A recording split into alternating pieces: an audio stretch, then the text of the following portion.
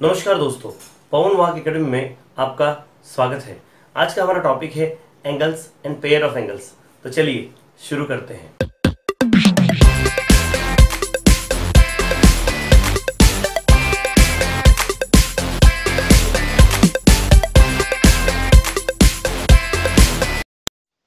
दोस्तों, पवन वाग एकेडमी पर आपका स्वागत है। मैथ्स के वीडियोस मोटिवेशनल वीडियोस और जनरल नॉलेज के वीडियोस देखने के लिए प्लीज़ सब्सक्राइब पवन वाग एकेडमी दोस्तों, आज का हमारा टॉपिक शुरू करने से पहले मैं आपसे एक रिक्वेस्ट करना चाहूँगा कि जो जो लोग हमारे सब्सक्राइबर हैं, उन सभी से मेरी रिक्वेस्ट है कि आप बेल आइकन को क्लिक कीजिए। क्योंकि अगर आप बेल आइकन को क्लिक नहीं करते हैं तो आपको हमारे चैनल्स के नोटिफिकेशंस नहीं मिलेंगे। जब भी मैं नया वीडियो डालूँगा, आपको कोई मैसेज नहीं आएगा। तो प्लीज़ आप बेल आइकन को क्लिक कीजिए, क्योंकि उसी से मैं जो भी वीडियोस आपके लिए अपलोड कर रहा हूँ, उससे आपको मैसेज आएगा। So don't forget to click the bell icon आज का हमारा टॉपिक है angles and pair of angles अभी एंगल्स की जब हम बात करते हैं, हम एंगल्स हम पहले से पढ़ रहे हैं, हमारे प्रीवियस क्लासेस में हमने एंगल पढ़ा है, पर व्हाट इज़ एंगल एंगल क्या होता है? When two rays start with the same initial point, they form an angle. Means क्या? देखिए, जैसे मेरे पास सपोज़ ये एक रे है। दिस इज़ रे ए ओके यहाँ अगर देखें हम तो O is the initial point of this ray okay and this ray here this arrow is showing कि ये इनफाइनाइट तक जा रही है okay and that is why we can not measure the length of the ray तो जब क्या होता है कि जब दो रेज एक ही पॉइंट से, एक ही इनिशियल पॉइंट से स्टार्ट होती है लाइक like ये एक इनिशियल पॉइंट है, ये सपोज़ ओ है, और यहाँ एक पॉइंट है ए तो एक ओ ए रे है और एक ओ बी रे है। अगर ये दोनों रे एक ही पॉइंट से स्टार्ट होती है तो ये बनाती है एंगल ओके तो ये जो इनिशियल पॉइंट है जिसे हम रे में इनिशियल पॉइंट कहते हैं और जब ये दो एंगल जब दो रेस एक साथ आ, आ गई एक ही इनिशियल पॉइंट से आ गई तो ये जो पॉइंट है जिसको हम इनिशियल पॉइंट कहते हैं लेकिन वो एंगल में होता है उसका वर्टेक्स ये होता है एंगल का वर्टेक्स OA और OB क्या है? ये है arms of the angle OA और OB ray OA and ray OB they are the arms of the angle so what is the name of this angle इस एंगल का नाम क्या है? इस एंगल का नाम है वी कैन राइट दैट ये है angle A O B okay ये जो है, ये एंगल का सिंबल है। या आप इसे एंगल बी ओ ए भी लिख सकते हैं ओके नेम ऑफ़ वर्टेक्स इसका वर्टेक्स क्या है? इसका वर्टेक्स है पॉइंट ओ तो आप यहाँ लिखिए point O is the vertex of angle AOB आगे बात आती है right the names of its arms arms कौन सी है? जैसे कि मैंने आपको बताया, इसके आर्म्स क्या है? आर्म्स है, इसकी रे, ओ एंड रे, ओ बी। ये दो इसकी आर्म्स है। देखिए, ये ओ ए और ओ बी मिलकर ये एंगल बना रही है। वर्टेक्स क्या है? पॉइंट ओ ओके आगे है right the names of the points marked on its arm अब इसके आर्म के ऊपर कौन से पॉइंट मार्क करके रखे? देखिए, यहाँ पर है पॉइंट ए और यहाँ है पॉइंट बी तो इसका आंसर यहाँ आ जाएगा पॉइंट ए और पॉइंट बी ओके तो इस तरह से हमने एंगल देखा कि एंगल किस तरह से बनता है। ये पता होना बहुत ज़रूरी है। This is the basic thing angle का जो स्टार्टिंग होता है एंगल की डेफिनेशन से when two rays start from the same initial point they form an angle ये हो गया एंगल एओबी या बीओए ओ इसका वर्टेक्स है, इसकी आर्म्स है O and O B and कौन से कौन से पॉइंट्स इसके आर्म्स के ऊपर तो point A and point B they are on the arms of the angle okay so so, इस तरह से अभी हमने एंगल देखा अब हम आगे देखते हैं कि एंगल में इंटीरियर पार्ट और एक्सटीरियर पार्ट कौन सा होता है कौन सा जो भाग है जो जिसे हम इंटीरियर कहेंगे और कौन सा जो पार्ट है उसे हम एक्सटीरियर कहेंगे interior and exterior part of the angle. Here I have put some points. This side also, this side also and even here also. Okay. तो इंटीरियर पार्ट कौन सा होता है एंगल का ओके द एरिया और the part which is in the arms of the angle okay ये definition आपको book में नहीं दिए ओके okay. ऐसा पार्ट जो दोनों आर्म्स के बीच में आए okay the part which comes in in the arms of the angle angle part तो ये देखो ये एंगल है this is the angle and this part this the whole part this part is called interior part और जो part बाहर है this part ये है एक्सटीरियर पार्ट आपको मेरे स्क्रीन पर एक ये इमेज दिख रही होगी जिसमें मैंने आपको बताया कि इंटीरियर पार्ट कौन सा है। देखिए, मैंने कलर करके बताया उसको शेड करके बताया इंटीरियर पार्ट और एक्सटीरियर पार्ट को भी मैंने शेड करके बताया। तो इस तरह से इंटीरियर पार्ट अंदर वाला होता है और एक्सटीरियर पार्ट बाहर वाला होता है। The part which is in the arms of the angle is called interior part and the part which is not in the arms of the angle. Okay, means they are outside the arms of the angle. They are the outside of the angle. That is called the exterior part of the angle. अब देखिए, यहाँ पर मैंने कुछ points लिख के रखे हैं। Points in the interior of an angle इस एंगल के इंटीरियर में कौन से कौन से पॉइंट्स है? देखिए ए ये इसके आर्म के ऊपर है। आर इसके आर्म्स के ऊपर है। इसके आर्म के ऊपर। ये सारे आर्म के ऊपर है। तो अंदर कौन से कौन से पार्ट है? ये पार्ट है। तो ये पार्ट ये पॉइंट कौन से कौन से है? वो है पॉइंट जे देखिए पहला वाला पॉइंट पॉइंट जे फिर है point S okay point S फिर है पॉइंट पी पॉइंट पी फिर है पॉइंट एफ़ और D so point F and point D तो इस तरह से ये जो पॉइंट्स है they are in the interior of the angle कौन से कौन से? एक ये पॉइंट है ये पॉइंट है, एक, दो, तीन। कितने हुए one two three four five one two three four five तो इस तरह से ये सारे points they are in the interior of the angle now here the points in the exterior of angle जो पॉइंट्स है एक्सटीरियर में कौन से कौन से है? देखिए यू है एक्स है टी है, उसके बाद ओ है जी के ओके सो राइट हियर यहाँ से शुरू करते हैं point U okay, point U, उसके बाद है पॉइंट एक्स, फिर है पॉइंट टी, ओके, फिर है पॉइंट ई, फिर है पॉइंट के, और फिर है पॉइंट जी। तो these are the points okay, अब क्या बता रहा है वो? Points on the arms of the angle arms के ऊपर कौन से पॉइंट है? देखिए आर्म्स के ऊपर आपको कौन से कौन से पॉइंट दिख रहे हैं? पॉइंट ए दिख रहा है आर दिख रहा है एम है एन है वी है और बी है। ओके तो we will write here these points which are on the arms like पहला पॉइंट लिख लेते हैं पॉइंट एम फिर है पॉइंट आर फिर है point A okay point A फिर है पॉइंट एन। फिर है पॉइंट वी।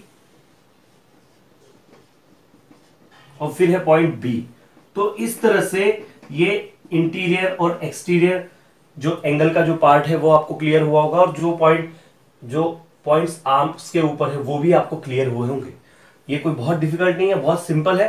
सिर्फ़ इसको ध्यान से एक बार देखिए तो आपको क्लियर हो जाता है सारा। और वैसे भी जो डायग्राम मैंने आपको बताया है, उस डायग्राम की मदद से आपको इजीली वो समझ जाएगा किस साइड में एम कौन सा पार्ट इंटीरियर है, कौन सा एक्सटीरियर और मैं तो सीधा सीधा बोलूँ आपको कि ये हमारा हाथ है ना, इस हाथ को आप ऐसा कीजिए, या फिर आपकी जो फिंगर्स है, इनको ऐसा कीजिए। तो इस फिंगर्स के बीच का ये जो पार्ट है, वो इंटीरियर में है और ये जो पार्ट है, बाहर वाला। This part is is the exterior part of the angle okay अब हम आगे बढ़ते हैं, अब देखते हैं एडजस्टेंट एंगल क्या होता है। I have drawn one angle here और मैंने उनके नाम लिख के रखे, कौन से कौन से एंगल है एंगल एओबी एंगल बीओसी और ये पूरा एंगल एओसी ओके इस पूरे का नाम है, एक एंगल एओबी एओसी है और मैंने बीच में से एक रे ओए ड्रॉ कर लिए तो दो मेरे पास इसके पार्ट्स हो गए। तो इंटीरियर एडजस्टेंट एंगल क्या होते हैं कि इफ़ टू एंगल्स है कॉमन वर्टेक्स देखिए इन दोनों एंगल की, कौन सा कौन सा एंगल एंगल एओबी और एंगल बीओसी कॉमन वर्टेक्स है पॉइंट ओ ये दोनों में कॉमन है। एओ बी में भी वर्टेक्स ओ है और बीओसी में भी वर्टेक्स ओ है। ओके अगला पॉइंट है कॉमन आर्म अकॉमन आर्म देखिए ये वाली आर्म जो है वो एंगल एओबी में भी है और वो बीओसी में भी है। तो एक कॉमन आर्म है। ओके okay, और अगला बोल रहा है सेपरेट इंटीरियर देखिए इसका इंटीरियर यहाँ है ये वाला पार्ट इसका इंटीरियर है और इसका इंटीरियर ये वाला पार्ट है। तो इनके इंटीरियर अलग अलग हो इनमें एक आर्म कॉमन हो और इनका वर्टेक्स कॉमन हो। तीन पॉइंट ध्यान रखना है। When two angles have when two angles have common vertex, a common arm, and separate interior. Then they are called adjacent angle. तो यहाँ एंगल कौन से कौन से एडजेसेंट है, वो देखते हैं हम। मैंने आपको नाम ऑलरेडी बता दिया लेकिन फिर भी एंगल ए ओ बी देखिए, एक एंगल एओबी है, एक एंगल बीओसी है और एक एंगल एओसी है। तो एओबी और बीओसी ये दोनों के दोनों एडजेसेंट एंगल है। ये दोनों एडजेसेंट एंगल है। They are adjacent angle because see तीनों के तीनों पॉइंट इसमें फॉलो हो रहे हैं। मतलब कौन से वाले? कॉमन वर्टेक्स से देखो, दोनों का कॉमन वर्टेक्स ओ इसमें आ रहा है। उसके बाद में कॉमन आर्म देखिए ओ भी दोनों में आ रहा है। और सेपरेट इंटीरियर उनका इंटीरियर भी सेपरेट है। तो ये दोनों angle angle A O B and angle B O C are adjacent angles okay अब बात आती है कि एक्सक्यूज मी अब बात आती है कि यहाँ पर एंगल एओसी और बीओसी ये एडजेसेंट एंगल्स है या नहीं, वो हम देखते हैं। देखिए एंगल एओसी और बीओसी एओसी और बीओसी इनमें क्या है? देखिए, इन दोनों में कॉमन वर्टेक्स है। एओसी में भी एओसी में भी ओ वर्टेक्स है और बीओसी में भी ओ वर्टेक्स है। तो ये कॉमन वर्टेक्स हो गया, पहला पॉइंट इसमें फॉलो हो रहा है। कॉमन नाम देखिए एओसी में ओसी और बीओसी में ओसी तो ओसी दोनों में है ये भी हो गया। अगला पॉइंट क्या है? सेपरेट इंटीरियर देखो इन, इसके इंटीरियर में बीओसी का इंटीरियर भी आ रहा है तो फिर ये दोनों जो है वो एडजेसेंट एंगल्स नहीं होंगे ये होंगे। ओके मतलब तीनों पॉइंट उसमें फॉलो होना चाहिए। वेन टू एंगल्स है common vertex one common arm and separate interior then they are called adjacent angles तो इस तरह से ये एडजेसेंट एंगल आई होप आपको क्लियरली समझा होगा। अगर आपके दिमाग में और क्वेश्चन है तो हम एक काम करते हैं, हम यहाँ पर एंगल एओसी और एंगल एओबी को भी चेक करके देखते हैं। एओसी और एओबी देखो। एओसी ये पूरा वाला और एओबी ये छोटा वाला। ओके तो यहाँ पर ओ कॉमन है ओ ए कॉमन है, पर फिर वही बात आती है कि इनका, देखिए एओसी का और एओबी का इंटीरियर एक हो जा रहा है। तो इंटीरियर सेपरेट हमको चाहिए, इसके लिए वो चलता नहीं तो इसलिए जब भी कोई एंगल ऐसे बने मतलब एक दूसरे के पड़ोस में बने एडजेसेंट एंगल मतलब क्या, जो एक दूसरे के पड़ोस में बनते हैं। ओके जैसे एडजेसेंट हमारे जो पड़ोसी होते हैं, वो हमारे एडजेसेंट हमारे, अगर कुछ ऐसे मकान होते हैं जिनमें एक ही दीवार होती है, इधर भी जो लोग रह रहे हैं फैमिली इधर से एक फैमिली रहती है, इधर एक फैमिली रहती है। तो जिस तरह से वो अलग अलग उनका इंटीरियर होता है, उनका घर अलग अलग होता है, लेकिन एक कॉमन उनकी आर्म होती है, एक वर्टेक्स उनमें कॉमन होता है और उनको हम कहते हैं एडजेसेंट एंगल्स तो वो एडजेसेंट एंगल होते हैं।